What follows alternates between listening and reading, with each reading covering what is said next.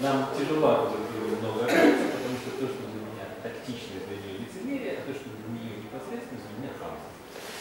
Все. Такая модель, с которой я отношусь к людям, или там, к миру еще окружающим, поэтому, да, большую часть времени я скрываюсь, не настоящий. И мы очень, как, не знаю, когда вы всю правду, я говорю, я знаю. Не надо. Чем?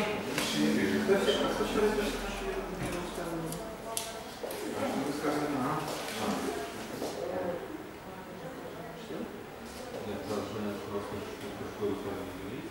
Про себя. А, всегда говорим. Нет, не Ты тепло. Да. Ну, дело. Э, Меня все. Примерно так. Классно, да? Чего начинать? И учителя. Ну, не знаю. Можете уйти. Нам Я, я, я, я, я. Там, по-моему, у меня сразу был такой, да? Э,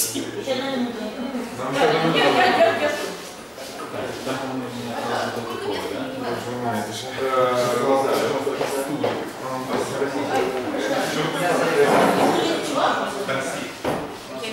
А мы с Оксаной сделали Я свои. Да.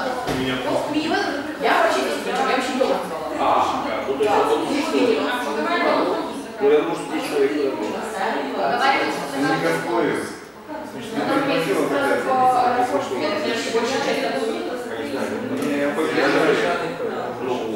А вы садитесь ближе. Я вообще предпочла бы лобби, там такие классные кресла. Я завидовала всем, кто были мероприятии был. Особенно тем, кто просто сел в кресло и прекрасно провел время. тебе принести кресло? Да нет. Я если сяду в кресло, не придется говорить, кажется, меня точно услышат. Не сможет. А, всем привет. Меня зовут Кляса. А,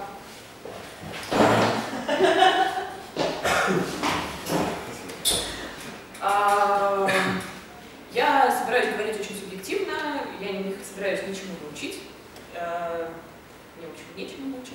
Вообще, мне кажется, что полное название этого мероприятия – это «Размышления о сюжете в автобусе номер 802 Гданьск-Калининград по пути сквозь Ноябрьскую глухую Польшу». А, Так что ничего такого особенного нет. Но когда меня э, Клэр попросила что-нибудь сказать э, про сюжет, я начала про него думать и поняла, что меня куда-то, значит, эти мысли заводят.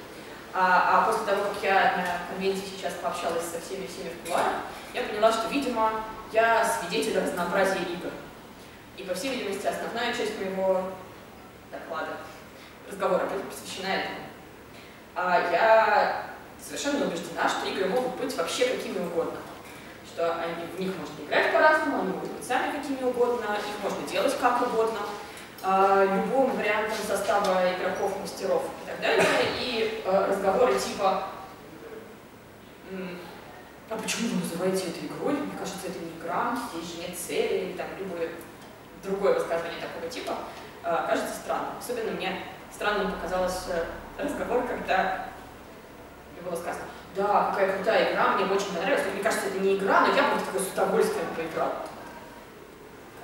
Было странно. Мне кажется, что все это можно называть играми, хотя и можно выделять себе, э, и лучше бы осознанно выделять то, чем ты сам хочешь заниматься. Делать, играть, э, во что хочешь приглашать. Э, ну и последнее, э, что в итоге у меня получится не совсем про сюжет, но это я поясню почему. Мои э, размышления про это начались с двух моих таких личных моментов. А, да, про себя. Я много мастерила. Я мастерила с 2005 наверное, года. Моей самой маленькой игре было, по-моему, человек 5, на моей самой большой 2700 с лишним. А, И, как правило, когда я мастерю, я мастерю на позиции сюжетника или чего-нибудь еще в этом духе а, сюжетно, концептуально, идейного или какого-нибудь странного а, куска тоже в этом духе. я много лет мастерила и немножечко продолжаю с лестницы в небо, и была главным сюжетником на Константинополе, стоимости жизни и Deus Ex Machina. Поэтому большая часть моих размышлений э, связана в том числе с большими играми, как происходит. Моя проблема с большими играми всегда заключалась в том, что я никогда не умела делать, знаете, такие стопроцентные простые блокбастеры. Мне все время всегда хотелось завернуть что-нибудь такое экспериментальное, что иногда работает даже на больших играх, а, но в целом, чем больше игра, тем сложнее делать экспериментально. А, и у меня в последнее время возникала ситуация двух типов, в которых я вообще начала думать, что, что вообще сюжет. Во-первых, я довольно много сейчас разговариваю с иностранцами про ролевые игры. И когда я такая говорю, вот я такая-то, и я мастер по... Вы все, возможно, как правило, состоите в играх поменьше, в мастерских группах поменьше, и у вас нет такой четкой, как у меня, ощущения, что вот есть мастер по правилам, вот есть мастер по антуражу, а есть мастер по сюжету. И у меня есть какое-то мое сформировавшееся представление о том, чем вообще занимается мастер по сюжету и что это значит. Но когда я говорю об этом иностранцам, я никак не могу сообразить, а каким словом мне перевести. Я могу сказать, что я занимаюсь, что моя сфера ответственности это плод, но плод это, собственно, вот сюжет, как мы, когда говорим в русском языке сюжет, последовательность действий, вот такая. Но это не совсем то, что я делаю. Я почти никогда не занимаюсь вот последовательностью действий и там, микросюжетиков. И здесь у меня первая возникла мысль, что вообще слово сюжет здесь не совсем а второе, а, когда назад мы сделали Deus Ex Machina, у нее, она в чем-то получилась удачно, в чем-то не очень много всего, но в частности часть претензий, не высказанных мне в лицо, но которые я все-таки заметила от части игроков, была в том, что а что-то вот мне сюжета не додали. И было очевидно, что они имеют в виду, как не додали такой микросюжет, который я, как мастер по сюжету, должна была, кажется, дать. Это меня страшно удивило, Потому что я всегда была уверена, что главный мастер по сюжету большой игре занимается вообще не этим. А, ну, или как минимум не только этим. Чем, мне кажется, э, занимается мастер по сюжету на большой игре. И ну, я уверена, что на маленьких играх э, этим же самым занимаются просто вместе еще и, и с сюжета, если это требуется. Мне кажется, что основной сферой ответственности, ну, то, как я понимаю этот термин, а, большой игре мастера по сюжету, это держание идеи, концепции и макросюжета. А, у нас, ну там, в нашей мастерской группе принято разделять а, макросюжеты. Микро как а, что-то а, частное, относящееся к конкретным персонажам, а, небольшое а, частное. А макросюжет — это а, как правило, то, что строится на э, больших конструкциях, больших э, сюжетах, сейчас попробую выяснить, что я имею в виду, э, встречи разных идеологий, встречи разных концепций, встречи разных сил. В процессе игры ты, когда персонажи начинают, они могут быть вовлечены в этот макросюжет или не вовлечены в него, но э, главная э, суть макросюжета — ответ Основной шоу заключается в том, э, что он а, работает как магнит или как омут и вовлекает в себя а, по ходу. А в том числе может и, ну, то есть в сюжет вовлекает, а в разные силы этого сюжета может там перевовлекать. А, из простого примера там, макросюжета, который такой простой и понятный игре, когда мы делаем игру про падение Константинополя, у нас есть история про э, город, который э, понемногу слабеет и силы, которые пытаются его захватить.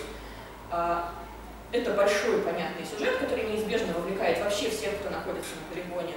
Э, хотя они могут переходить через одну стену там, или другую, переходить на другую сторону, решать, что э, все сюжеты среднего уровня будут подчинены этому. Идея э, города, который находится в ситуации, когда сейчас что-то с ним неизбежно изменится, или он отстоит, или он э, падет, но на среднем уровне будут еще сюжеты, как это политически проявляется, как это культурно проявляется, как это религиозно проявляется. И довольно глупо, если сюжеты среднего уровня совершенно с этим не связаны. Например, у нас есть а, история про войну, падение города и главным образом сам город как символ.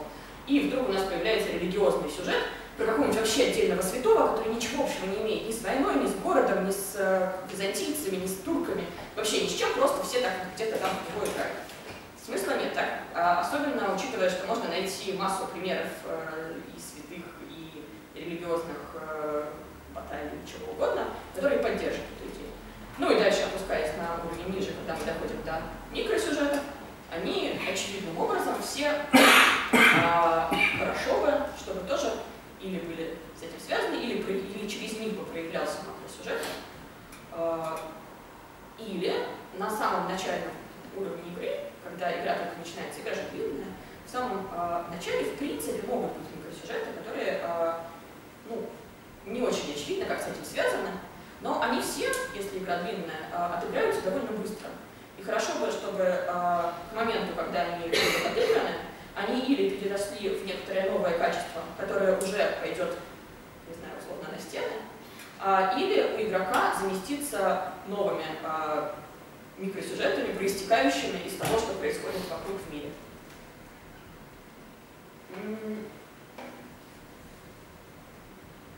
Пример, который я привела, он такой понятный про противостояние. В принципе, макросюжет э, может быть сделан э, на механизме, на модели, что ли, на какой-то общей системе. Например, когда мы делали игру «Простой мир жизни», главным макросюжетом была история про то, что у нас э, город реалити-шоу.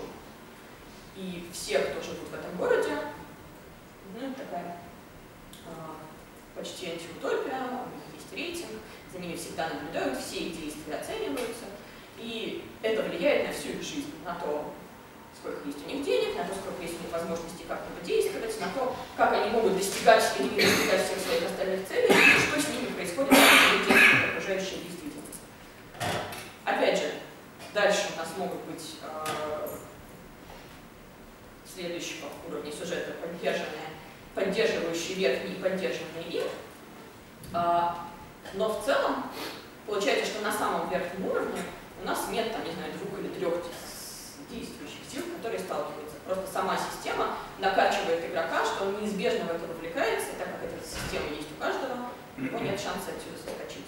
Еще один э, пример, который мне очень нравится тем, что эта игра вообще ни в каком виде. Вот и э, Константинополь, и стоимость жизни э, могли, ну, там, стоимость жизни хотя бы прикидываться тем, что она на выигрыш. Вот э, у нас ушел, Пролик даже выиграл эту игру, потому что получил наибольшее количество баллов, но всем было очевидно, что это такая внутренний выигрыш, на самом-то деле вообще нет. А, потому что человек получает больше всего баллов, ну, сложно сказать с нашей точки зрения, что персонаж что победил. А, мне очень нравится пример игры «Исход». Вы меня слышали, нет? А, игра, где а, она вся про то, как евреи уходят из Египта в поисках земли обетованной.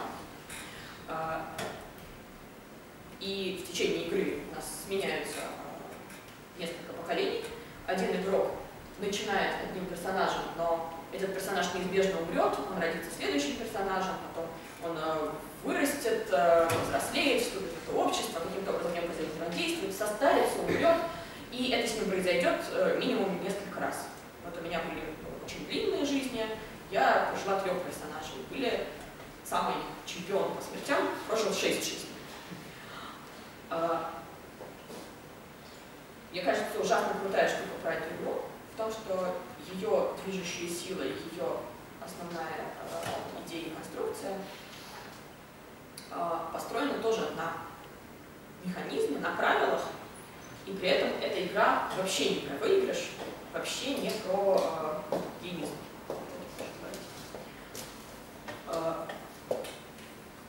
правил очень мало, но на этих э, очень лаконичных правилах строится вся история. И история в итоге получается про историю народа. Народ как главный персонаж, который меняется в течение игры, а, у него неизбежно происходят некоторые изменения, они там чуть-чуть сценированы внешними действиями, ну там встречи с какими-то внешними племенами. А, но это сценирование на самом деле ну, чуть-чуть структурирует то, что происходит. А на самом деле весь все происходящее, весь э, сюжет проистекает из того, как работают правила, и из того, как э, персонажи друг с другом взаимодействуют. Я стала думать про еще всякие игры, примеры которых видела в последнее время. Вот все...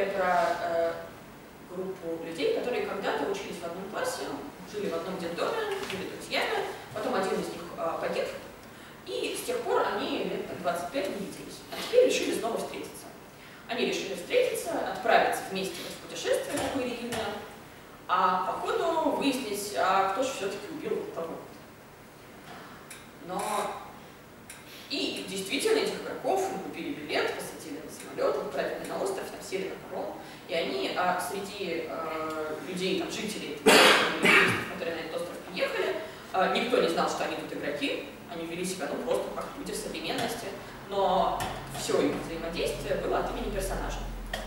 А, суть про сюжетное в том, что у а, мастеров не было ответа на то, что произошло. И вообще этой истории у них не было.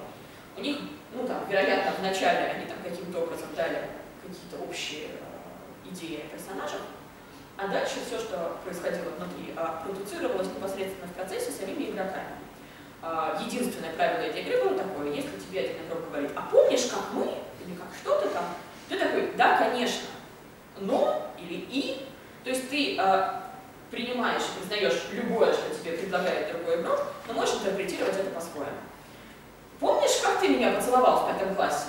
Да, но знаешь, я вообще с Машей поспорила. А, и этим игроки все это прекрасно знали, то есть это все совершенно открытая конструкция. Но в конце они все-таки нашли среди себя убийцу, а, дошли до там, решения вот этой загадки, поняли все, что произошло, и какое-то между ними произошло взаимодействие в процессе и отработка того, что было когда-то давно. Убийц типа не было. Не, он не был назначен изначально, в процессе, но в процессе они сами где-то поняли, где-то придумали, где-то догадались, как это Да, на основании каких-то на своих воспоминаний. Кто-то из них, в конце концов, осознал себя как убийцу, и через это все завершилось. А, так, происходит, я уже сказала. А, первая нордическая игра, в которой я играла прямо в Нордик. Игра а, Fallen Stars. А, упавшие звезды. Типа того. Игра про вещи на проходке. Все мы. А, коротенькая, в блокбоксе, воркшоп какой-то такой же длинный, как сама игра. Я не знала, чего ждать и вообще может ли произойти, но пришла с открытым сердцем, внезапно все зашло отлично. А, мы все вещи на проходке в процессе воркшопов, мы выбираем себе какая-нибудь вещь, там, гора вещей, ты выбираешь себе что Я была таким биноклем. А, и сюжет, вот как, как мы можем описать сюжет, невероятно просто, начинается с того, что вас переносят на барахолку и раскладывают. А, всегда, когда присутствуют библиотекники или начинают мастера, два мастера, они приходят изображать из себя людей. Когда они приходят, они всегда включают а, саундтрек а, голоса толпы. Когда уходят, они саундтрек включают. Всегда, когда люди здесь, мы не можем двигаться, не можем говорить, просто стоим рядом со своим предметом, они взяли и принесли наш предмет, мы покорно идем с ним. А, как только они ушли, мы можем дальше ходить, говорить, двигаться, спорить, что-нибудь там друг другу доказывать, проявлять себя, проявлять те истории, которые мы придумали на воркшопе, а, общаться со своими товарищами, которых мы привели на воркшопе. Но ничего, в общем, такого. Надеяться, что нас купят. А, печалится, что нас отдал старый хозяин, которого мы так любили. А, вспоминать истории. Да, в общем, ничего больше. Иногда приходят люди, там типа раза два или три, а, они изображают из себя покупателей, которые такие, да, да, я вот это вот куплю, отложите мне до вечера. А, они уходят, у нас продолжается общение про то, что какой удачный сукин сын вы купили, или они дорого за тебя заплатили, ну или что-нибудь еще. И единственное, что есть кроме этого, есть а, угол флешбеков. Есть один угол, в который светит прожектор, или даже не все время светит, а в момент, когда ты хочешь этим воспользоваться, ты выходишь туда, э, мастера включают прожектор, выключают свет во всей остальной комнате, все замолкают, включают тебе саундтрек. Можно было им э, в перерыве просить, какой конкретно, или они включали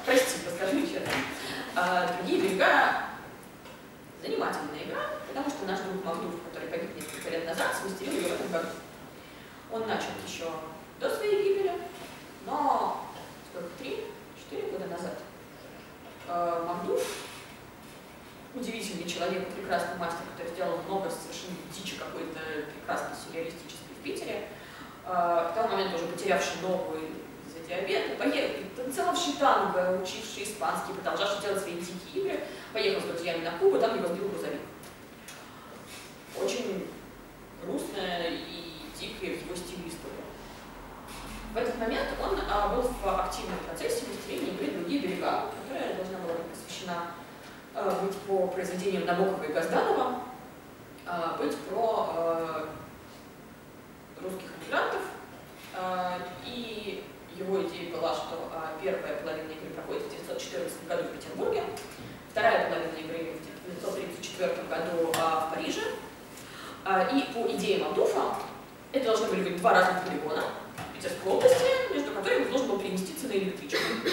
И такой закончен там 2014 год, уехал оттуда на электричке, зрачком, приехал в 1934 год, продолжаешь. Таким образом, в Питере людей все меньше, в 1934 году все больше, и ты совершил вот этот переход во всех смыслах.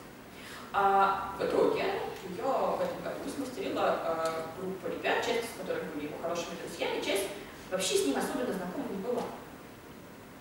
Ладно, сделаю отступление и скажу все-таки, что поразившая меня история про то, что минимум трое из этих миров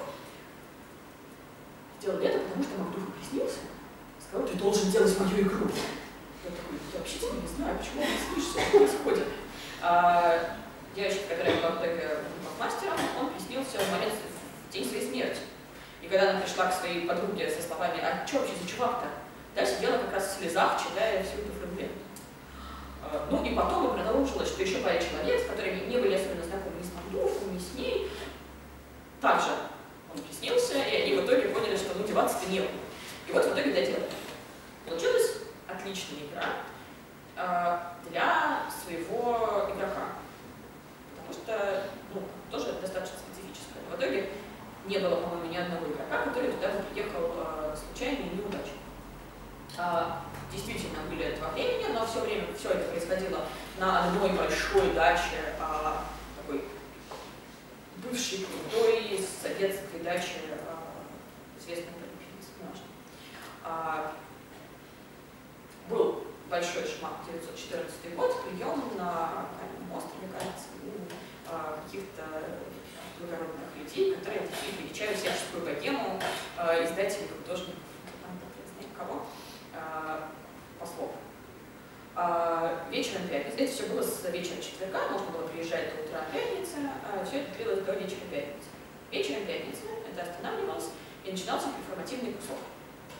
Очень я его боялась, а, потому что мне всегда страшно выйти на сцену и вообще чего-нибудь начать говорить. Да? Да, это было уже без двух полигонов, но все было в одной локации. Вот вместо электрички был информативный кусок. Он был построен так.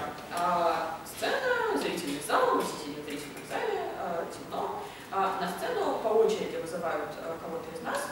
А, да, важный момент вообще, что она а, должна была выйти к про воспоминания предполагалось, что вообще все это, ну, то есть было э, хорошо, и мастера приветствовали то, что вы до игры, твоя заявка была написана в форме мемуара, написанного из любого времени в будущем. Ты точно знаешь, что твой персонаж должен до 34 года, и ты можешь писать из 34 года, можешь писать из 75 года, из какого-то. Ты описываешь, как ты помнишь события, случившиеся с твоим персонажем, когда-то тогда. На игре, конечно, все пойдет не совсем так. Но это нормально, наши воспоминания всегда несовершенны. А, и всегда оказывается, что потом мы вспомним это каким-то еще образом. Кто-то написал мемуары, кто-то нет, но идея того, что все это в том или ином виде воспоминания, она как бы продолжала на втором плане у нас всех существовать. А, в перформативной части она была поделена на три акта. А, мастер объявлял время воспоминаний госпожи Новицкой госпожа Новицкая, в любой форме, которой ей хотелось, а, представляла какой-то кусок а, из жизни своего персонажа между 1914 и 1934 годом.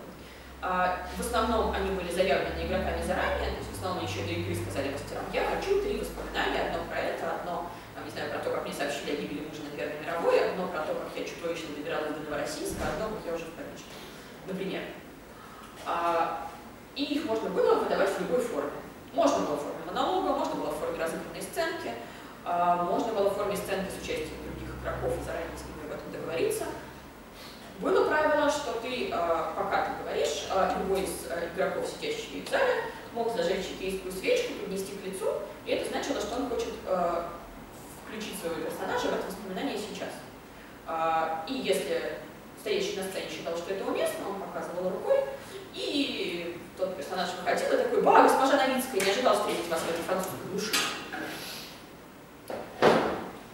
Было очень стрёмно, а, что это будет, ну не знаю, любительский театр, не знаю что, выходить вообще. А, ну, был один или два выступления, которые показались, ну, слабоватыми, скажем, ну, такой, действительно, скучновато, скажем. А в основном оно было как минимум интересно, как минимум любопытно. А, ну, понятно, в последнюю очередь из-за того, а, насколько мы уже все были включены в эту историю. А между этими а, актами а, были а, интермедии, когда мы пускали значит, свободное какое-то фланирование, мы могли в этот момент, встретив любого другого игрока, а, попытаться с ним завязаться еще на какой-то этот период. Например, а, а не могли ли мы видеться с вами в а, Нью-Йорке 22-м? А, кстати, в самом деле, ба, до этого, и дальше могли отыграть эту сценку или просто как игроки договориться. Мы встретились в Нью-Йорке 22 потом мы помогли друг другу, там, не знаю, доехать до Парижа, так, 50 И в итоге, к концу всего этого, у нас э, были, во-первых, сформированы эти истории, во-вторых, какое-то представление о том, что идеи, э, в-третьем, э, все обладаются. Потом, через э, сценку про то, как мы плывем на условном корабле, нас довезли до Парижа, распустили спать, а э, утро субботы начиналось уже 34 год. 34 год, прием в особняке испанского посла русской дворянке, э, меценат дает бесплатный обед, часть из нас пришла сюда, потому что очень хочется бесплатно пожрать, часть потому что э, мы блестящие оперные э, Кто почему? 914-934 год практически э, бессюжетны сами по себе. Там тоже было какое-то минимальное сценирование внутри, ну не знаю, хозяева устроили игру в Минотавра или что-то еще. Но на самом деле вот сюжеты, сюжеты с событиями, происходящими, конфликтами, чем таким вообще нет. Разговоры, чай, игра в шахматы, разговоры о бабочках. Заканчивается все тем, что э, опять перформативной, скажем, форме выходят там три игротехники, четыре толкают монолога имени стран, которые призывают э, присоединиться к ним, и все игроки по очереди отправляются туда или сюда, а в, там, двух предложениях, рассказывая, в какой стране закончилась судьба этого персонажа, каким образом. Вот. А, а, так вот, и думая про все эти, все эти многочисленные примеры, я э, о том, что мне вообще не нравится слово сюжет, э, потому что мастер, который придумывает всю как осмысленную канву происходящего э, придумывает не только то, что ну, в словаре, наверное, написано про то, что такое сюжет. Э, я подумала, что с моей точки зрения сюжетом можно было бы назвать, наверное, все, что э, происходит с персонажем. То есть не только его или какие-то еще действия, но и его опыт, его эмоции, всех персонажей, понятное дело. Его опыт, эмоции, знаю, чувство переживания. И это не обязательно, и даже если это действие, а также все остальное, перечисленное и неперечисленное, то это не обязательно то, что происходит с тобой непосредственно явно на игре. То есть, когда мы э, на нарративной игре обозначаем символически или в быстром пересказе какой-то кусок истории, не знаю, выходим монологом на других берегах, это все равно оказывается там некоторым сюжетом, встроенным в игру встроенным в наш опыт. Сюжет, возможно, тогда не очень удачное слово. Я пока не, не подобрала другого. А, использую его, потому что привыкла называться мастером по сюжету. А это все явный комплекс того, э, что знаю, входят кажется, в а, зону ответственности. Меня и всех тех, кто занимается сутью игры и так далее. Возможно, здесь правильнее говорить, например, о драматургии. О драматургии э, игры и там, происходящего. Может быть, придумайте слово лучше. А из того, что мы сейчас говорили на комменте, я вспомнила один пример, который мне кажется явно относящимся сюда, но не совсем от происходящего с персонажем. Это э, пример с вот этого поворота, когда э, игроки там в какой-то момент из Первой мировой осознают себя э, персонажами Толкина. Мне кажется, что этот опыт тоже вкладывается в ну, сюжет, в другие, но оно не э, вот это единственный пример, который я придумала, который при этом не относится к происходящему с персонажем. Но, возможно, просто сюда нужно тогда включать э, не только происходящее с персонажем, а то, как игрок этого персонажа осознает. Когда игрок через персонажа что-то чувствует, я через персонажа чувствую красоту Парижа, или я через персонажа чувствую, что я Финарфин. А, видимо, все вот эти куски тоже сюда прикольно включить. А, дальше мне хотелось поговорить про а,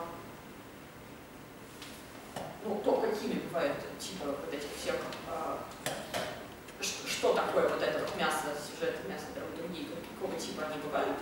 А, и мне неизбежно приходит на ум а, теория про генизм, активизм, симуляционизм. Кто про нее слышал или не слышал?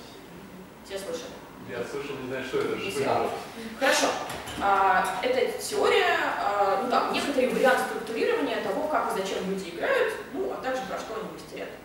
А, мне кажется, что изначально оно пришло из компьютерных игр, мне кажется, что это кто-то про компьютерные игры пытался говорить.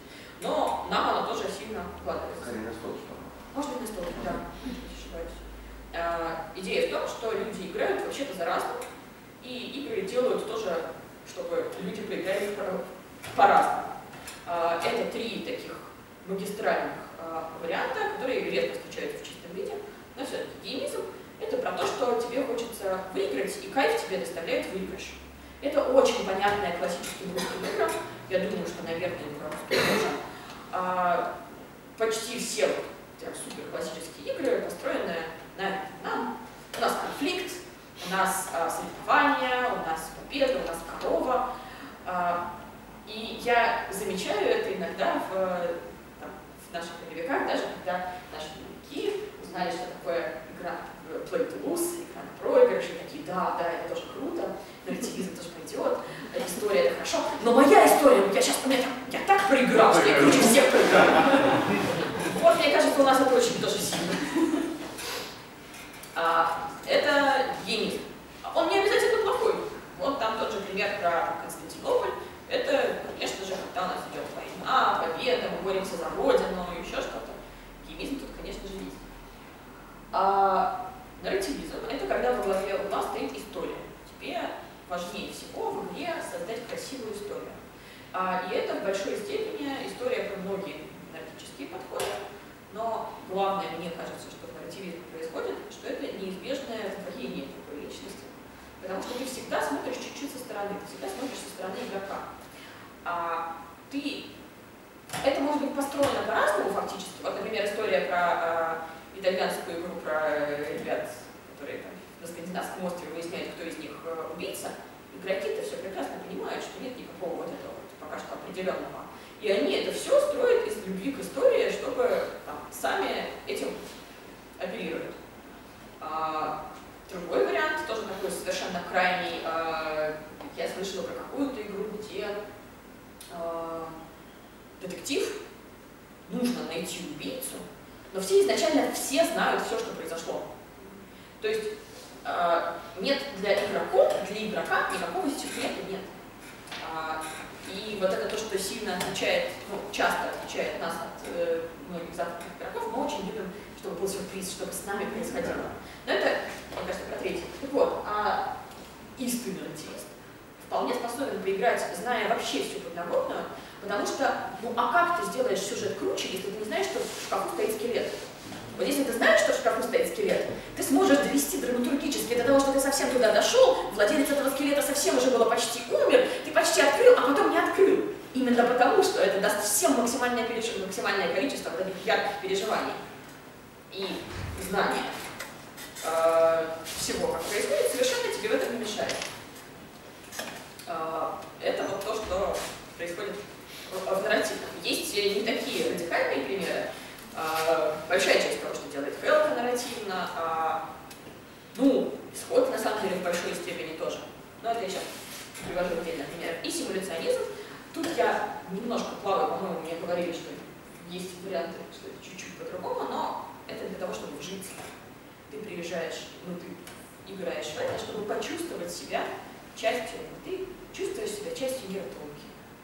Тебе даже не обязательно, чтобы у тебя обязательно происходила супер игра, ну, в смысле, супер история здесь как история.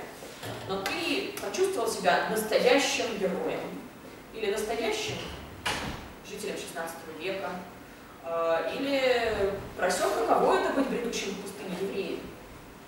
А, если ты будешь меня поправить, можешь. Ну, я немножко не согласен. Давай, Как в моем понимании симуляционизм это вот то, что называлось отыгрыш, когда во времена, когда использовали слова выигрыш и отыгрыш, выигрыш соответствует геймизму, отыгрыш соответствует симуляционизму. Совершенно не обязательно почувствовать себя персонажем, скорее ты изобразить его. А, Нет. А, ощутить, что решение, принимаемое тобой, на самом деле принимает он сам, что внутри что-то А случилось. Там есть, Что? там на самом деле вот внутри симуляционизма. Вот возможно. Хорошо. Но мне такая, раз то, что ты говоришь, кажется, в принципе, тем же самым. Ты почувствовал себя персонажем, принимаешь решение от него, ты с ним слился, ты Ну. э, как бы, он, э, как бы, это не требует, чтобы слияние с миром. Может быть очень активная Хорошо, позиция. хорошо, да. Ты действуешь, исходя из мотивации персонажа. Ты полностью восстанавливаешь, как бы вел Хорошо. как бы забываешь про себя и стараешься поставить на месте себя полностью персонажа и понять, как он Да. ведет себя. Да, а, я согласна, что главное здесь про слияние и про действие совершенно изнутри. А, действительно, а, это не обязательно нацелено именно на мир, это, конечно, на, а, в том числе на то, что именно с этим персонажем ты действуешь из него. А, чистых вариантов, конечно же, практически нет.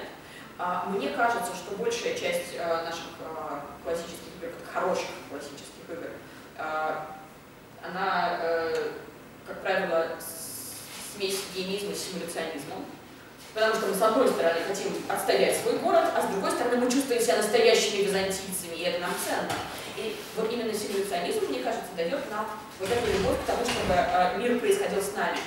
У нас должен быть шанс умереть э, не потому, что я как игрок это решил, а потому что факт так сложился, э, кости так выпали, чувак оказался более удачливым в э, фехтовании. А, Вот геймизм, симуляционизм такая мне кажется, супер русская традиция. А, нарративизм, симуляционизм тоже иногда соседствует, например, мне кажется, в тех же других берегах. А у нас, с одной стороны, это есть как история, и мы извне, особенно в перформативной части, рассказываем историю персонажа.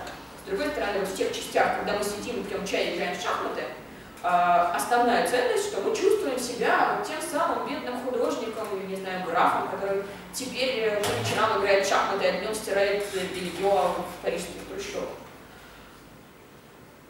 А, Я даже вспомнила пример геймизма с нарративизмом, и мне кажется, что это Хелкин «Тысячелетний герой», «Тысячеликий герой», А, где, с одной стороны, это, конечно же, история, и игра создана того, чтобы они вышли и в нескольких красивых сценах изобразили индийских эпических героев. С другой стороны, там есть вполне себе движок выигрыша-проигрыша, который вообще-то влияет, и мы командами э, придумываем, как нам сейчас победить противника. Такой вот странный э, микс, который вообще встречается, мне кажется, нарративизм с геймизмом ближе всего. Вот настольный модуль. Ну, не совсем. Ну, Да, да, да, да. Видимо, это чаще встречается в э, настолках, чем в э, живом действии. Да. А, это удобные слова, чтобы там ими общаться с теми, кто их знает, но вообще на самом деле хитроумными словами выразиться совершенно не обязательно. Но зато круто думать о том, а, про что ты делаешь игру, сразу в двух ключах. Во-первых, а, ну, опять же, такая наша супер традиция, что мы всегда пытаемся до начала игры придумать, про что мы ее делаем, а, определить там некий сверхидею или game focus. И это не значит, что сверхидея, что это именно что, высокая идея.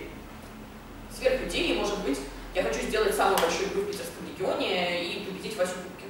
Это тоже может быть сверхидея, хорошо бы быть честным с собой в этом. А, может быть, твоя сверхидея сделать игру про выбор. А, почти все говорят, что их идея в этом, а на самом деле это не всегда правда. А, ну вот такая смысловая, смысловую идею круто определить, особенно если у тебя мастерская группа больше одного человека, а, и вам придется, особенно там, не знаю, 20 или 30 все время сверяться про одно и то же, делаете игру или нет. Но это не совсем то, про что я говорила, а второе, про что клево определиться, это а, какую игру мы делаем, какую нам, про что нам хочется сделать игру в плане геймплея или э, взаимодействия с игрой. Вот все эти геймизмы и они отчасти про это.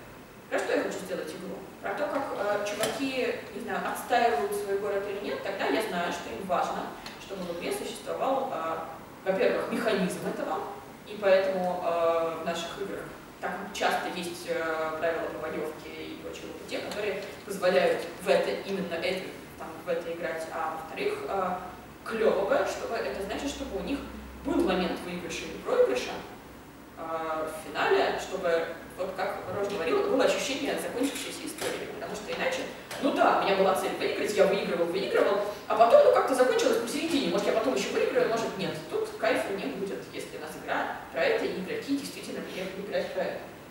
А, Точно тоже, если у тебя главное это рассказать историю а, и как-то услышать историю персонажа. Вот у меня про это, кстати, был на Халкином демо-версии «Пепла и алмаза» сейчас.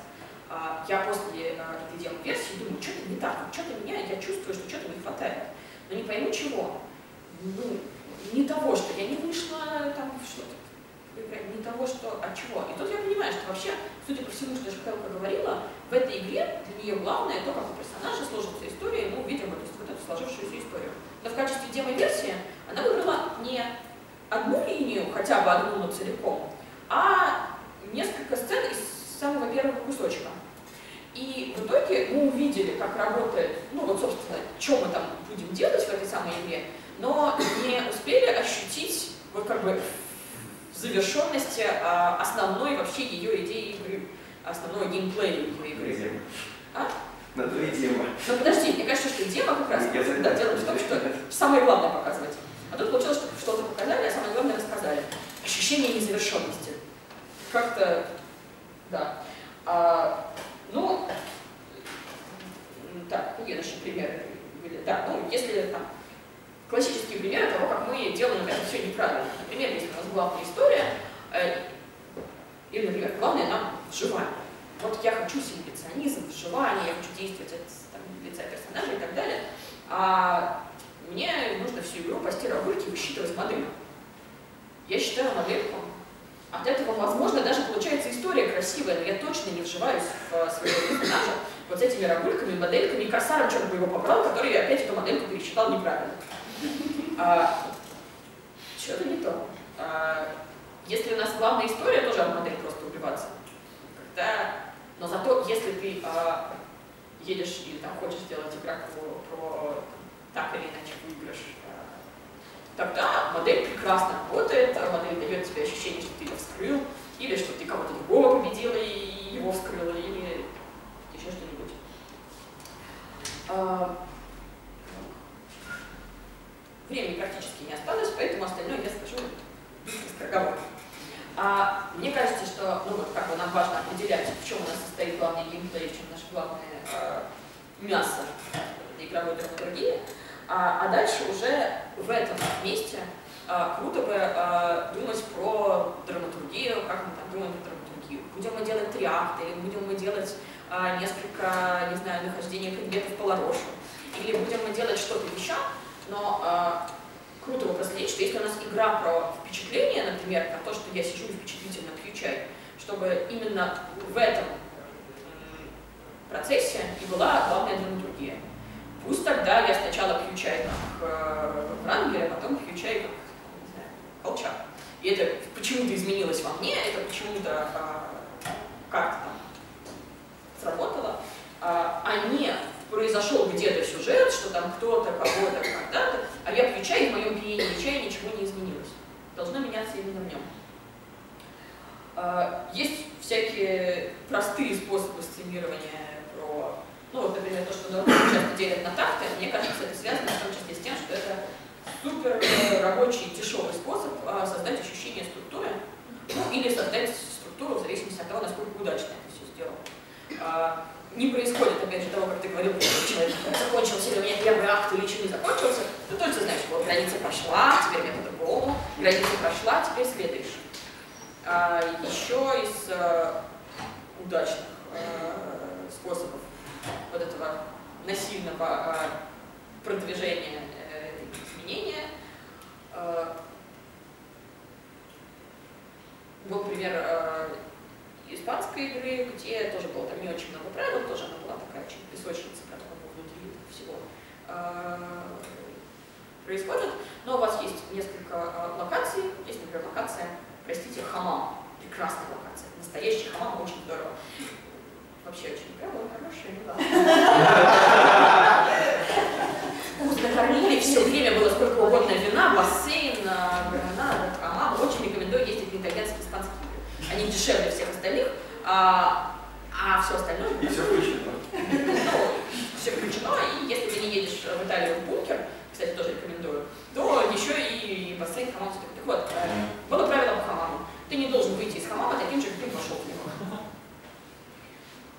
Что-то с тобой там Э, от игрока лучше заставлять своего персонажа там поменяться и не будешь пока не поменяешься, или будешь там придумывать, а почему это я поменялся за это время? Ну, это тоже такой дешевый способ э, устроить какое-то изменение какую-то внести упорядоченность, драматургию, ощущение истории. А, мое глубокое убеждение, это просто вообще в сторону, что во всех, э, что всегда нужно сюжетно всем давать поровну. Меня ужасно бесит, когда э, игрокам достается не поровну. Мне кажется, что игроков нужно любить в равной мере. А, например, э, пример, на котором я осознала это и осознала, что я всегда так пытаюсь хотя бы делать на своих играх, был на чужой игре, на э, святолетие, где была охрененная моделька наркоты. Были наркотики и трипы, просто чума. Там все улетали. Но были ребята, которым было супер нелогично вообще наркотики употреблять. Ну, не употребляю коммунисты наркотики. Ну, какая-то была такая. И приходилось, ну, то есть, если уж точно хотела, и тебе было так завидно, весь полигон, месяц в едином рейве, и у них там остров чума. Она, и у нас нет ничего равноценного. А, получается, что мы такие просто обиженные судьбой. А, вот я не за то, чтобы все игроки играли совсем равномерно, но за то, чтобы отслеживать, а когда какие-то крутые детали достаются каким-то игрокам, отслеживать, чтобы у других, в других э, персонажей локаций группы было как минимум равноценное. Ну а дальше, возможно, имеет смысл распределять игроков по тому, какое равноценное кому зайдет больше. Э, важно закладывать возможность дополнительной эскалации по ходу. Это я подумала после семинара про конфликты. А, про то, когда ты, каким бы, опять же, у тебя не был основной геймплей, основное то, что происходит, ты, а, было бы круто изначально думать про то, вот когда текущая ситуация разрешится, а она, скорее всего, разрешится, и, скорее всего, до конца игры, каким будет там твой следующий ход, чтобы э, эту ситуацию или другую эскалировать, э, перевести на новый уровень, э, продолжить этот конфликт, когда все договорились, и вроде бы все скритейли перестали быть убиваемыми. Но дальше почему-то происходит, что этот статус не сохранится. Почему? А, и опять же, мне кажется, что главный, ну, главное направление, в котором мы думаем, должно соответствовать тому, в каком, из чего состоит это самое драматургическое мясо игры. А, и из а, семинара по перформансу сюда, опять же, мне показалось удачной включить, что, во-первых, Ваня говорил, что если в классическом искусстве у нас все было, ну, большинство было про такой конфликт дихотомий, просто о, белое, черное, то вот в перформативном, современном искусстве часто очень исследуются границы состояния пограничного.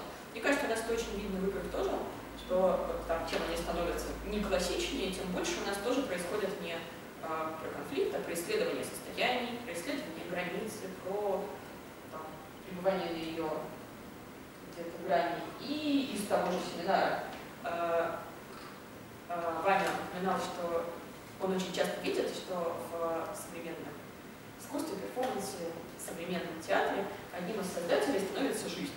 Ну, то есть, как бы э, художник создал какую-то рамку, но ее наполнение в основном идет за счет уже жизни, случая. А, и у нас это в играх тоже, мне кажется, по, по полной проявляется.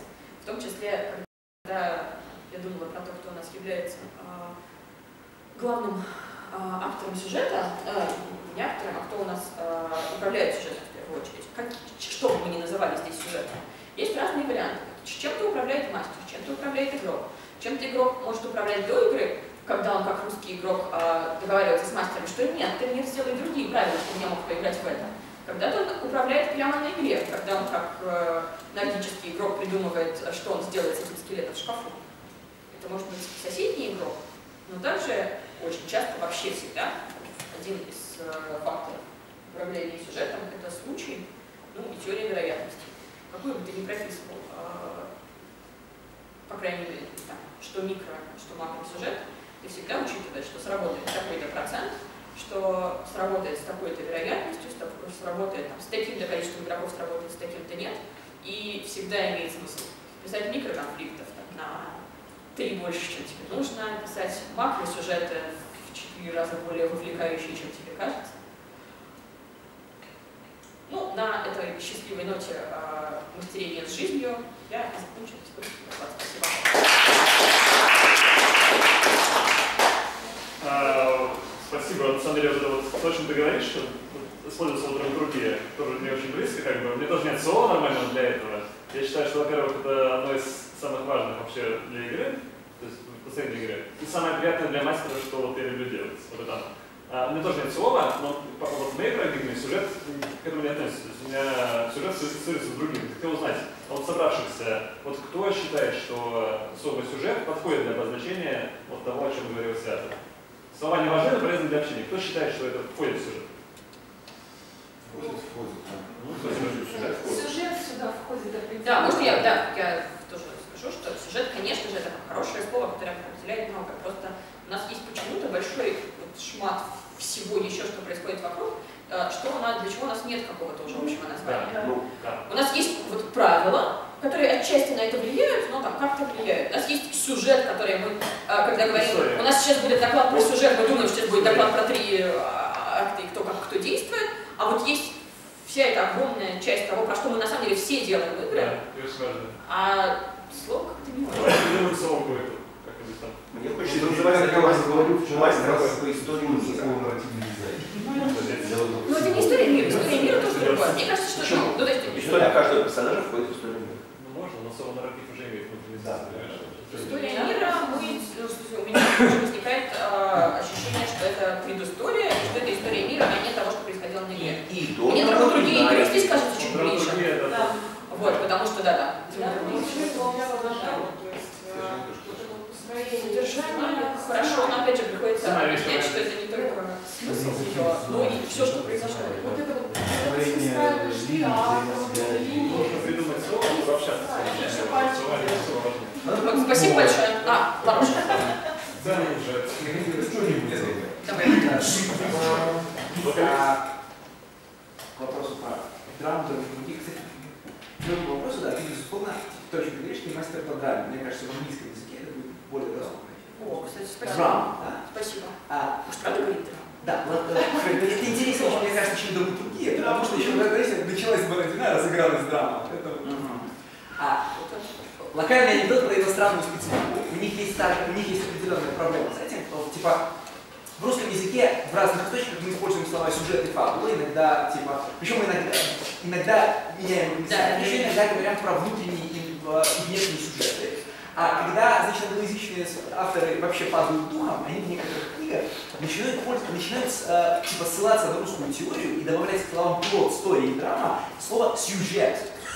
Типа, чтобы описать то, что у нас называется внутренний сюжет. Класс. А, вот. А к тому месту, где ты говорила про людей, которые пьют чай, Ага. какая, какая штука? Значит, типа, есть такой кинематографический аналог черного квадрата. Это фильм Blue, в котором вы два часа, три часа смотрите на, на синий экран. В смысле, ну типа, на, на специфический оттенок синего экрана, но это не важно. А если, вы, если у вас за три часа глаза не стекленеют, или если вы три часа пьете на ролевой печи, у вас глаза не стекленеют, определенно оп- э, есть херня, которая меняется. Меняется отношение к ситуации.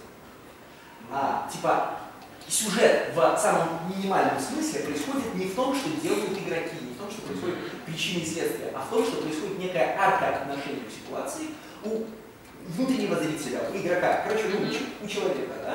Да, но тут, видимо, то, что я говорю про добавление к тому, что происходит с персонажем, еще и отношение Да, к да, персонажу, да, происходящему да, с но с ним. персонажем может вообще нахрен ничего Да. не происходить. Да. Просто если ты каким-то образом удержала его от, ну, типа, от отстранения ситуации, если он, типа, ну, не заснул, не заскучал, да, не выключился из бессмысленного действия. Ну, понимаешь, да, если он продолжает три часа смотреть на... Типа, если ты во время медитации не заснул, и не начал думать о работе, а все еще думаешь про вдох выдох, да, вот смотришь на свой синий экран, то у тебя меняется отношение к происходящему. Да. И вот этот твой сюжет, это когда ничего вообще не происходит. Мне кажется, что здесь есть расстояние на две вещи. Одно, то, что мы там можем называть чем-то, это наше изменение отношения к персонажу или его опыту, и тот опыт, который персонаж все-таки проживает, а, не знаю, его 353 гладко чая а, и один взгляд на видос. А, но есть еще что-то, что, видимо, нам все-таки нужно было бы отделить, если уж совсем теоретизировать, про то, что происходит все-таки с игроком, и оно уже не, уже не сюжет, а уже чисто игровский. Есть масса того, что с игроком происходит на игре, которая, собственно, ну, там, драме не относится. А, оно этим а, с ней связано, оно иногда ее продуцирует или продуцируется ей, а, но вот есть какой-то еще и короткий опыт. Видимо, в том, что ты говоришь, есть э, кусок того и другого.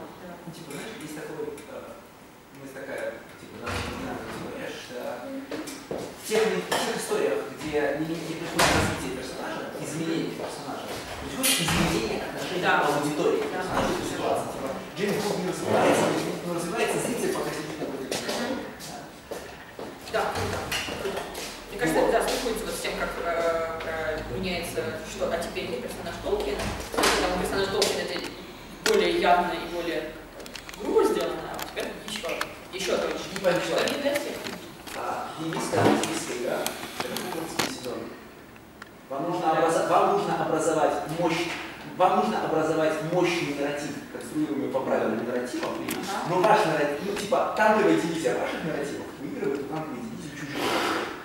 А, то есть здесь даже ты не внутри нарратива, еще и... Нет, ты- а, ты ты, сначала- а ты борешься нарративом? Ты то внутри, то снаружи, да. У вас есть натурально конкурирующие нарративы, и Дора блядь, пишет, я писал Смотри, отличный то вариант. есть нарратив, то есть ты, да, тут как раз получается гейми, нарратив геймистский. Нет, ну смотри, у вас есть, типа, смотри, у вас есть, Нарратив как автор. у вас есть, ну не микро-макро уровень, да, средний и большой уровень, на среднем уровне находится внутри нарратива. Да? А на макроуровне у вас конкурирует несколько нарративов, которые должны описать одну и ту же реальность. Собственно, э, Соревнуетесь, какой сюжет круче. Какая история? Прикольно. про- про- Слушай, то есть наш, у нас не только игроки геймисты по своей сути, но даже наши истории геймисты по своей сути. Ну, динамический сюжет. Нет, ну типа, знаешь, несколько другом ракурсе так работала. Но только она про конфликт нарратив, ну типа, только там она была да, эксплицитно да, про да. конфликт нарратив. Слушай, вообще интересная штука. да. Ну, это Давай. просто очень иллюстративно в политике. Потому что в политике они сражаются нарративами. Кто на- навяжет нарратив? Ну, Великая война в чистом виде про это. Да. Да, нужно же говорить не про геймистский нарратив, а потому что внутри него а про нарратив геймиста. Прикольно, спасибо. Спасибо вам большое. Можно идти обедать. Спасибо. Thank you.